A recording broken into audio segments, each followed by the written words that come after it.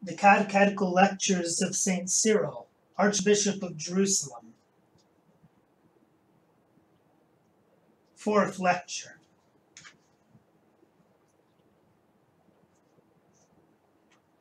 From the Epistle of the Apostle Paul to the Colossians. Beware lest any man cheat you by philosophy and vain deceit, according to the tradition of men, according to the elements of the world, and not according to Christ. Vice mimics virtue, and the tares strive to be thought wheat, growing like the wheat in appearance, but being detected by good judges from the taste. The devil also transfigures himself into an angel of light.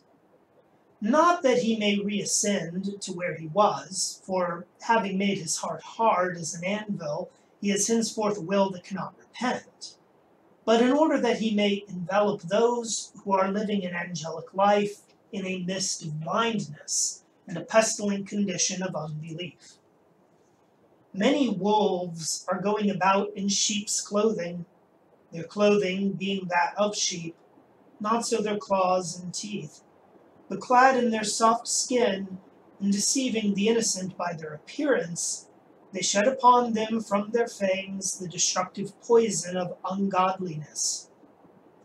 We have need, therefore, of divine grace, and of a sober mind, and of eyes that see, lest from eating tares as wheat we suffer harm from ignorance, and lest from taking the wolf to be a sheep we become his prey, and from supposing the destroying devil to be a, to be a beneficent angel we be devoured. For as the scripture saith, he goeth about as a roaring lion, seeking whom he may devour.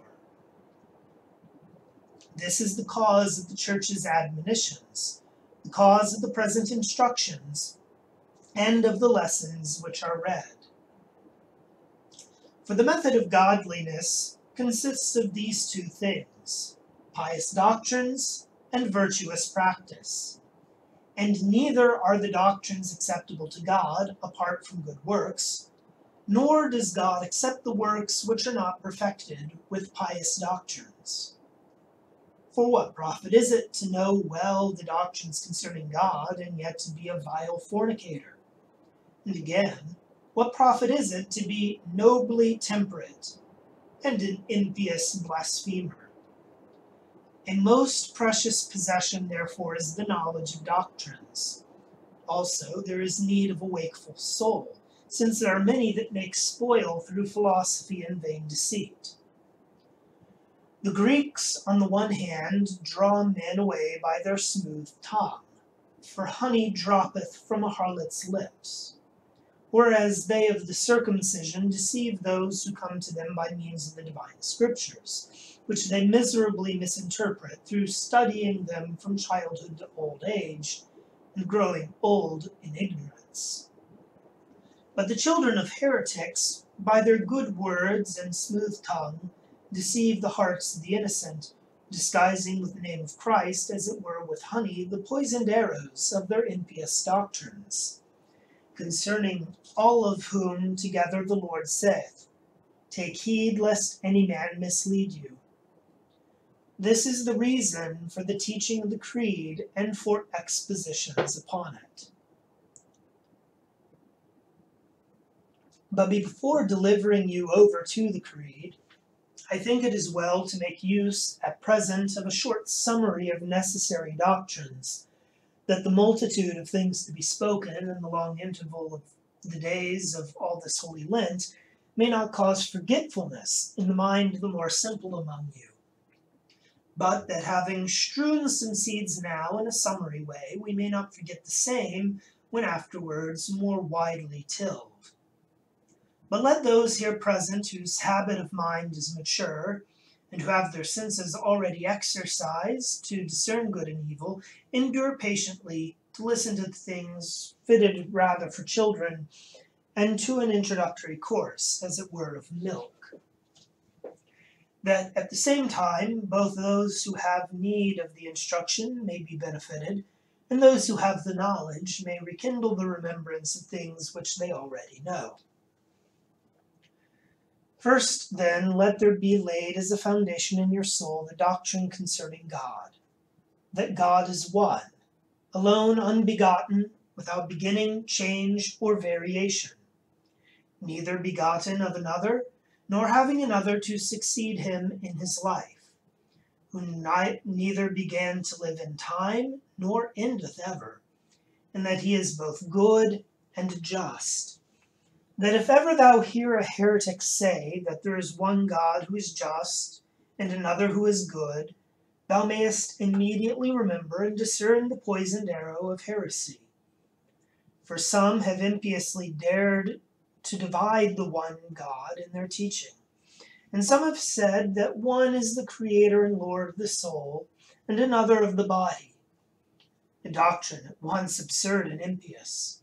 For how can a man become the one servant of two masters, when our Lord says in the Gospels, No man can serve two masters? There is then one only God, the maker both of souls and bodies, one the creator of heaven and earth, the maker of angels and archangels, of many the creator, but of one only the Father before all ages, of one only his only begotten Son, our Lord Jesus Christ, by whom he made all things visible and invisible.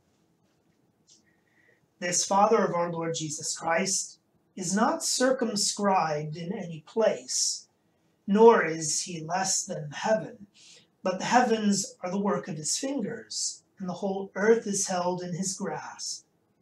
He is in all things, and around all.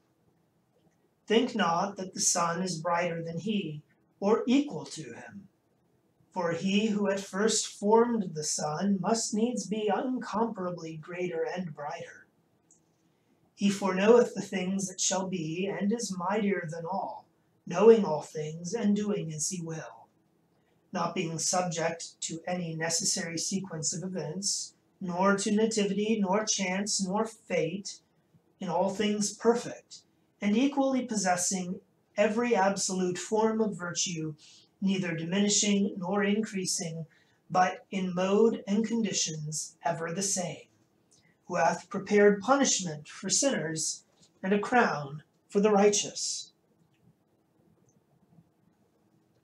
Seeing then that many have gone astray in diverse ways from the one God, some having deified the sun, that when the sun sets they may be abide in the night season without God, others the moon to have no God by day, others the other parts of the world, others the arts, others their various kinds of food, others their pleasures, while some, mad after women, have set up on a high an image of a naked woman and called it Aphrodite, and worshipped their own lust in a visible form. And others, dazzled by the brightness of gold, have deified it and the other kinds of matter Whereas if one lay as the first foundation in his heart the doctrine of the unity of God and trust to him, he roots out at once the whole crop of the evils of idolatry and of the error of the heretics. Lay thou therefore this first doctrine of a religion as a foundation in thy soul by faith. Believe also in the Son of God, one and only our Lord Jesus Christ, who is begotten God of God, begotten life of life, begotten light of light, who is in all things like to him that begat, who received not his being in time, but was before all ages, eternally and incomprehensibly begotten of the Father. The wisdom and the power of God and his righteousness personally subsisting who sitteth on the right hand of the Father before all ages. For the throne at God's right hand he received not, as some have thought, because of his patient endurance, being crowned, as it were, by God after his passion, but throughout his being, a being by eternal generation, he holds his royal dignity and shares the Father's seat, being God and wisdom and power, as hath been said, reigning together with the Father, and creating all things for the Father, yet lacking nothing in the dignity of Godhead, and knowing him that hath begotten him, even as he is known of him that hath begotten. And to speak briefly, remember thou what is written in the Gospels, that none knoweth the Son but the Father, neither knoweth any the Father, save the Son.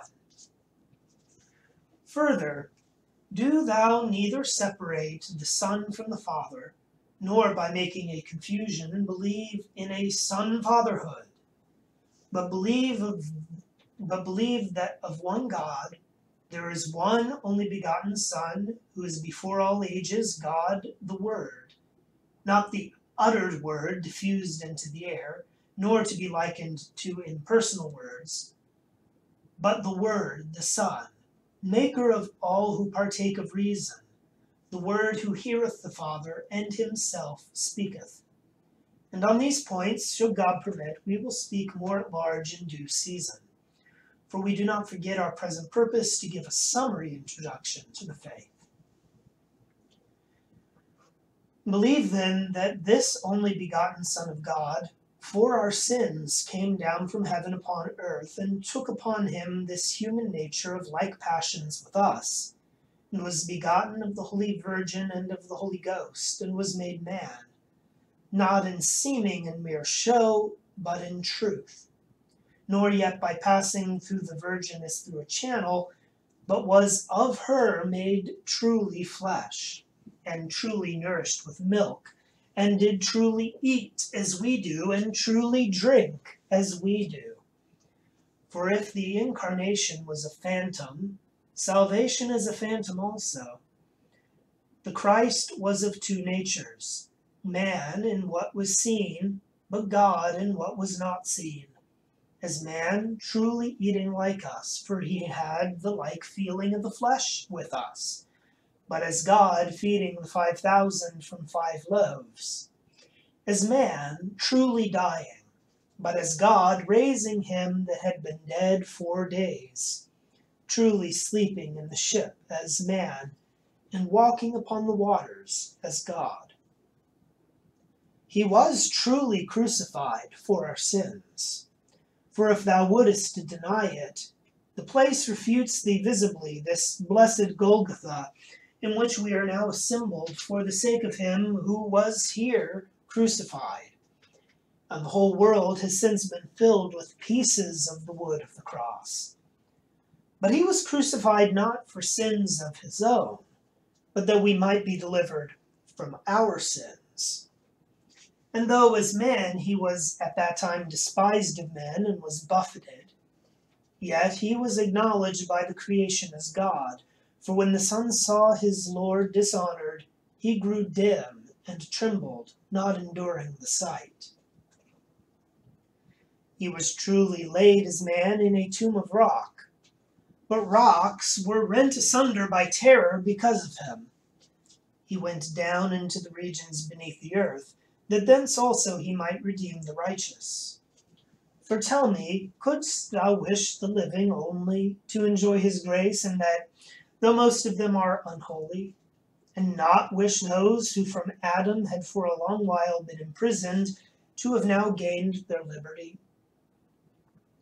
Isaiah the prophet proclaimed with loud voice so many things concerning him. Wouldst thou not wish that the king should go down and redeem his herald? David was there, and Samuel, and all the prophets. John himself also, who by his messengers said, Art thou he that should come, or look we for another? Wouldst thou not wish that he should descend and redeem such as these? But he who descended into the regions beneath the earth came up again, and Jesus, who was buried, truly rose again the third day. And if the Jews ever worry thee, meet them at once by asking thus Did Jonah come forth from the whale on the third day? And hath not the Christ then risen from the earth on the third day? Is a dead man raised to life on touching the bones of Elisha? And is not much and is it not much easier for the maker of mankind to be raised by the power of the Father? Well then, he truly rose, and after he had risen was seen again of the disciples. And twelve disciples were witnesses of his resurrection, who bear witness not in pleasing words, but contended even unto torture and death for the truth of the resurrection. What then? Shall every word be established at the mouth of two or three witnesses, according to the scripture? And though twelve bear witness to the resurrection of Christ, art thou still incredulous in regard to his resurrection? But when Jesus had finished his course of patient endurance and had redeemed mankind from their sins, he ascended again into the heavens, a cloud receiving him up. And as he went up, angels were beside him, and apostles were beholding. But if any man disbelieve the words which I speak, let him believe the actual power of the things now seen. All kings, when they die, have their power extinguished with their life. But Christ crucified is worshipped by the whole world. We proclaim the crucified, and the devils tremble now. Many have been crucified at various times, but of what other who was crucified did the invocation ever drive the devils away. Let us therefore not be ashamed of the cross of Christ. But though another hide it, do thou openly seal it upon thy forehead, that the devils may behold the royal sign and flee trembling far away. Make then this sign at eating and drinking, at sitting, at lying down, at rising up, at speaking, at walking, in a word, at every act. For he who is here crucified is in heaven above. If after being crucified and buried he had remained in the tomb, we should have had cause to be ashamed. But in fact, he who was crucified on Golgotha here has ascended into heaven from the Mount of Olives on the east. For after having gone down hence into Hades, and come up again to us, he ascended again from us into heaven, his Father addressing him and saying, Sit thou on my right hand until I make thine enemies thy footstool. This Jesus Christ, who is gone up, shall come again, not from earth, but from heaven. And I say, not from earth, because there are many antichrists to come at this time from earth. For already, as thou hast seen, many have begun to say, I am the Christ. And the abomination of desolation is yet to come, assuming to himself the false title of Christ. But look thou for the true Christ, the only begotten Son of God, coming henceforth no more from earth, but from heaven, appearing to all more bright than any lightning and brilliancy of light, with angel guards attending, that he may judge both quick and dead, and reign in a heavenly eternal kingdom which shall have no end. For on this point also I pray thee, make thyself sure, since there are many who say that Christ's kingdom hath an end.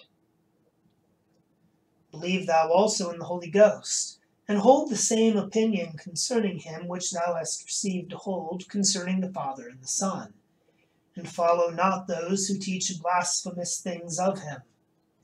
But learn thou that this Holy Spirit is one, indivisible, of manifold power, having many operations, yet not himself divided, who knoweth the mysteries, who searcheth all things, even the deep things of God, who descended upon the Lord Jesus Christ in form of a dove, who wrought in the law and in the prophets, who now also at the season of baptism sealeth thy soul, of whose holiness also every intellectual nature hath need against whom, if any dare to blaspheme, he hath no forgiveness, neither in this world nor in that which is to come.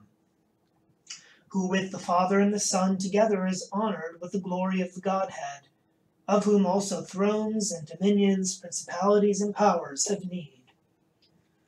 For there is one God, the Father of Christ, and one Lord Jesus Christ, the only begotten Son of the only God and one Holy Ghost, the sanctifier and deifier of all, who spake in the law and in the prophets, in the Old and in the New Testament. Have thou ever in thy mind this seal, which for the present has been lightly touched in my discourse by way of summary, but shall be stated, should the Lord permit, to the best of my power, with the proof from the Scriptures. For concerning the divine and holy mysteries of the faith, not even a casual statement must be delivered without the Holy Scriptures, nor must we be drawn aside by mere plausibility and artifices of speech.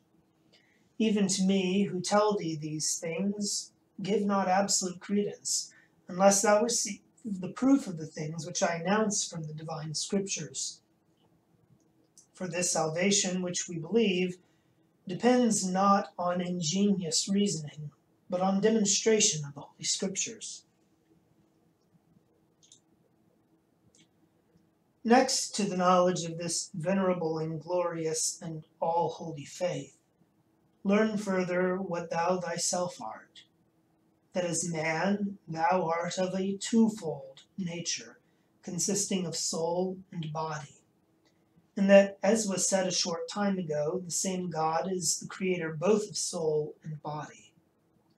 Know also that thou hast a soul self governed, the noblest work of God, made after the image of its creator, immortal because of God that gives it immortality, a living being, rational, imperishable, because of him that bestowed these gifts, having free power to do what it willeth for it is not according to thy nativity that thou sinnest, nor is it by the power of chance that thou committest fornication, nor as some idly talk do the conjunctions of the stars compel thee to give thyself wantonness. Why dost thou shrink from confessing thine own evil deeds, and ascribe the blame to the innocent stars? Give no more heed, pray, to astrologers for of these the divine scripture saith, Let the stargazers of the heavens stand up and save thee. And what follows? Behold, they all shall be consumed as stubble on the fire, and shall not deliver their soul from the flame. And learn this also, that the soul, before it came into this world, had committed no sin. But having come in sinless, we now sin of our free will. Listen not, I pray thee, to any one perversely interpreting the words, But if I do that which I would not, but remember him who saith, If ye be willing, and hearken unto me, ye shall eat the good things of the land. But if ye be not willing, neither hearken unto me, the sword shall devour you, etc. And again, as ye presented your members as servants to uncleanness and to iniquity unto iniquity, even so now present your members as servants to righteousness unto sanctification.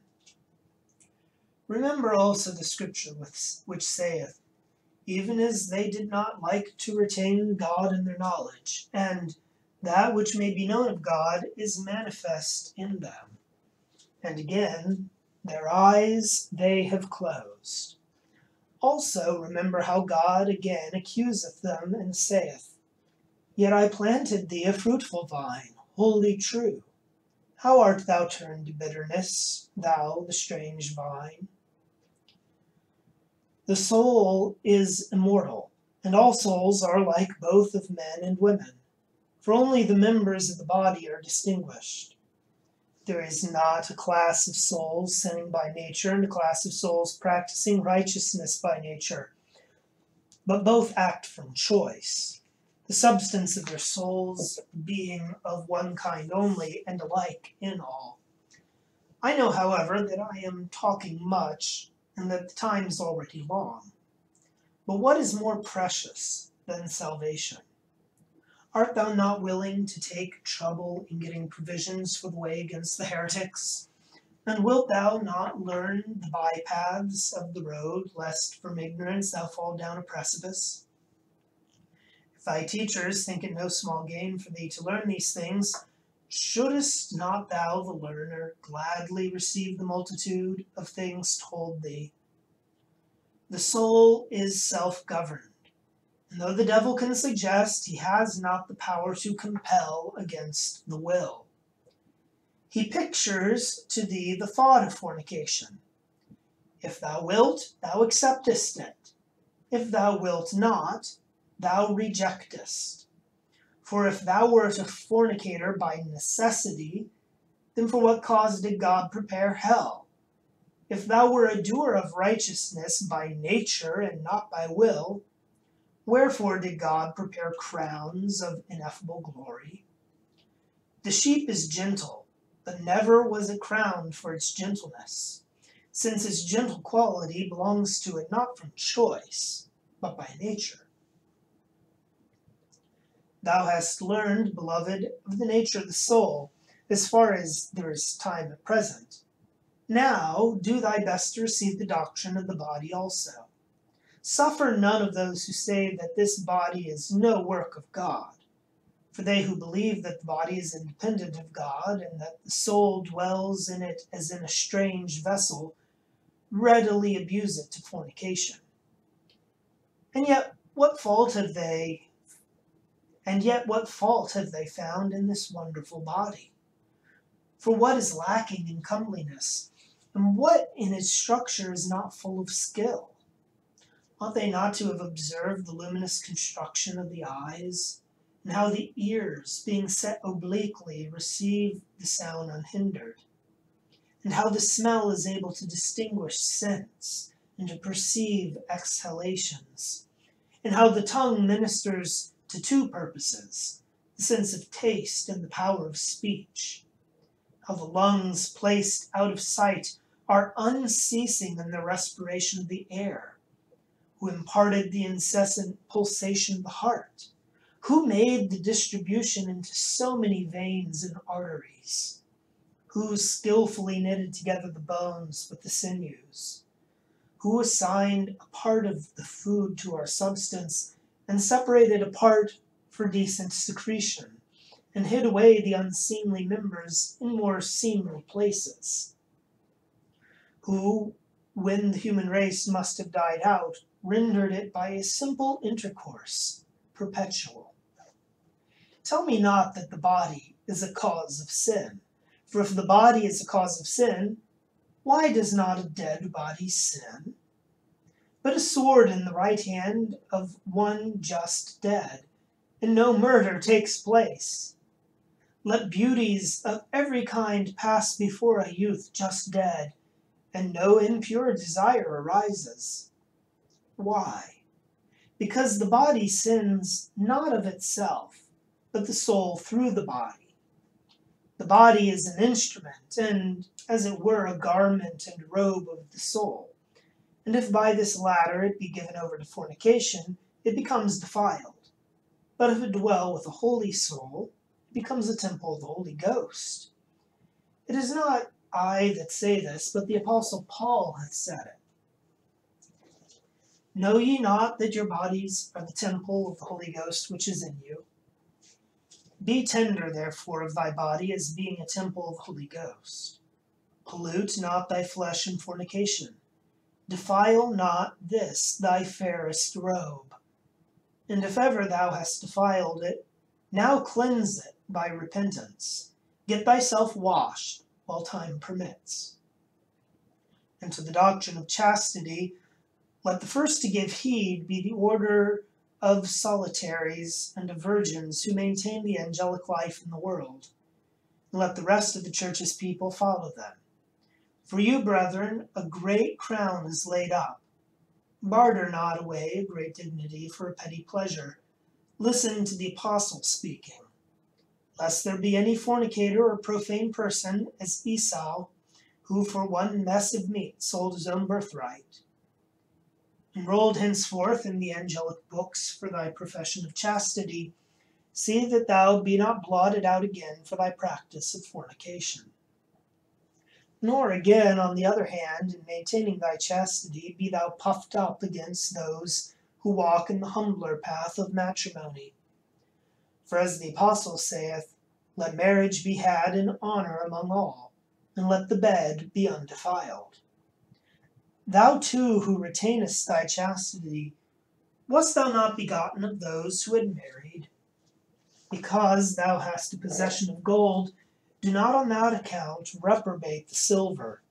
But let those also be of good cheer, who being married use marriage lawfully, who make a marriage according to God's ordinance, and not of wantonness, for the sake of unbounded license who recognize seasons of abstinence, that they may give themselves unto prayer, who in our assemblies bring clean bodies as well as clean garments into the church, who having entered upon matrimony for the procreation of children, but not for indulgence.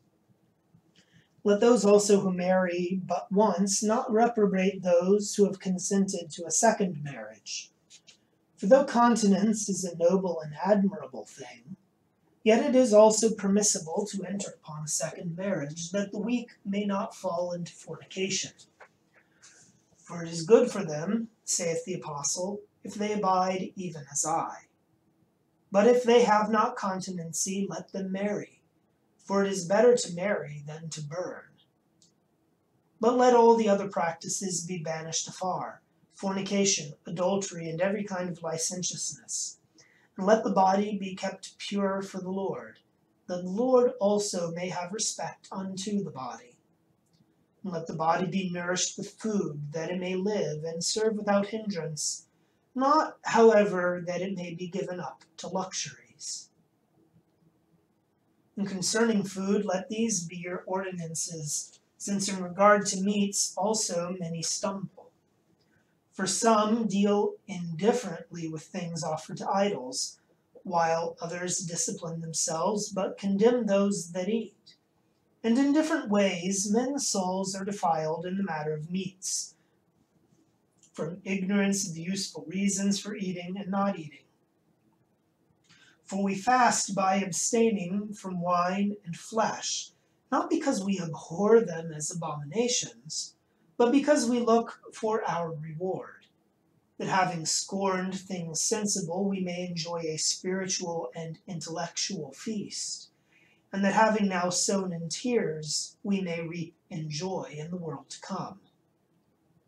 Despise not therefore them that eat, and because of the weakness of their bodies, partake of food nor yet blame these who use a little wine for their stomach's sake and their often infirmities, and neither condemn the men as sinners, nor abhor the flesh as strange food. For the apostle knows some of this sort when he says, forbidding to marry, and commanding to abstain from meats, which God created to be received with thanksgiving by them that believe. And abstaining then from these things, Abstain not as from things abominable, else thou hast no reward, but as being good things, disregard them for the sake of the better spiritual things set before thee. Guard thy soul safely, lest at any time thou eat of things offered to idols. For concerning meats of this kind, not only I at this time, but ere now apostles also, and James, the bishop of this church, have had earnest care. And the apostles and elders write a Catholic epistle to all the Gentiles that they should abstain first from things offered to idols, and then from blood also, and from things strangled.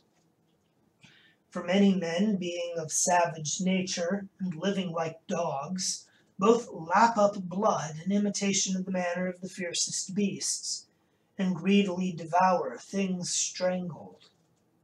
But do thou, the servant of Christ, in eating observe to eat with reverence.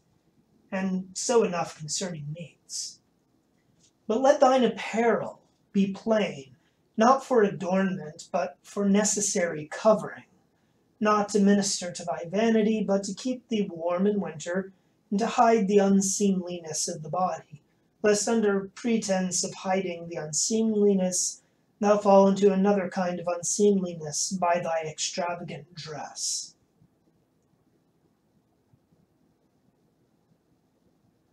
Be tender, I beseech thee, of this body, and understand that thou wilt be raised from the dead to be judged with this body. But if there steal into thy mind any thought of unbelief, as though the thing were impossible, judge of the things unseen by what happens to thyself. For tell me, a hundred years ago or more, think where wast thou thyself, and from what a most minute and mean substance thou art come to so great a stature, and so much dignity of beauty. What then? Cannot he who brought the non existent into being raise up again that which already exists and has decayed? He who raises the corn which is sown for our sakes, as year by year it dies, will he have difficulty in raising us up, for whose sake that corn also has been raised? Seest thou how the trees stand now for many months without either fruit or leaves? But when the winter is past, they spring up whole and into life again as if from the dead. Shall not we much rather and more easily return to life? The rod of Moses was transformed by the will of God into the unfamiliar nature of a serpent. And cannot a man who has fallen into death be restored to himself again? Heed not those who say that this body is not raised, for it is raised. And Isaiah is witness when he says, The dead shall arise, and they that are in the tomb shall awake. And according to Daniel, many of them that sleep in the dust of the earth shall arise, some to everlasting life, and some to everlasting shame. But though to rise again is common to all men, yet the resurrection is not alike to all. For the bodies received by us all are eternal, but not like bodies by all. For the just receive them, that through eternity they may join the choir of angels. But the sinners, that they may endure forever the torment of their sins. For this cause the Lord, preventing us according to his loving kindness, has granted repentance at baptism, in order that we may cast off the chief, nay, rather the whole burden of our sins, and having received the seal by the Holy Ghost, may be made heirs of eternal life. But as we have spoken sufficiently concerning the laver the day before yesterday, let us now return to the remaining subjects of our introductory teaching.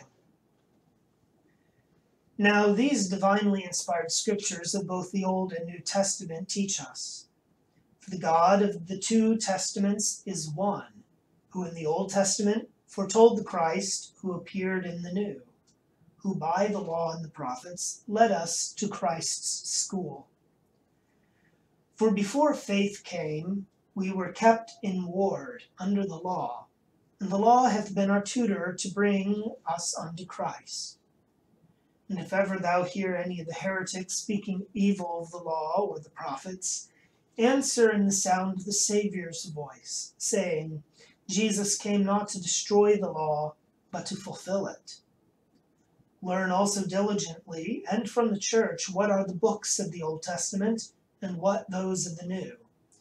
And pray, read none of the apocryphal writings, for why dost thou, who knowest not those which are acknowledged among all, trouble thyself in vain about those which are disputed? Read the divine scriptures, the twenty two books of the Old Testament, and these have been translated by the seventy two interpreters.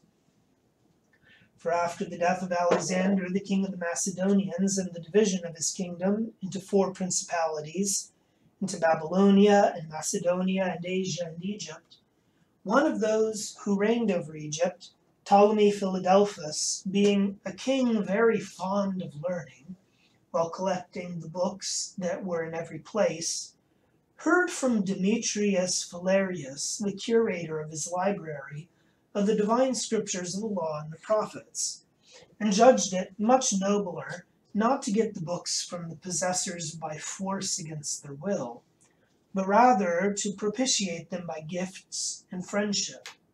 And knowing that what is extorted is often adulterated, being given unwillingly, while that which is willingly supplied is freely given with all sincerity, he sent to Eleazar, who was then high priest, a great many gifts for the temple here at Jerusalem. and caused him to send him six interpreters from each of the twelve tribes of Israel for the translation. Then, further, to make experiment whether the books were divine or not, he took precaution that those who had been sent should not combine among themselves by assigning to each of the interpreters who had come his separate chamber in the island called Pharos, which lies over against Alexandria, and committed to each the whole scriptures to translate. And when they had fulfilled the task in seventy two days, he brought together all their translations, which they had made in different chambers, without sending them one to another, and found that they agreed not only in the sense, but even in words. For the process was no wordcraft, nor contrivance of human devices. But the translation of the divine scriptures spoken by the Holy Ghost was of the Holy Ghost accomplished. Of these read the two and twenty books, but have nothing to do with the apocryphal writings. Study earnestly these only which we read openly in the church.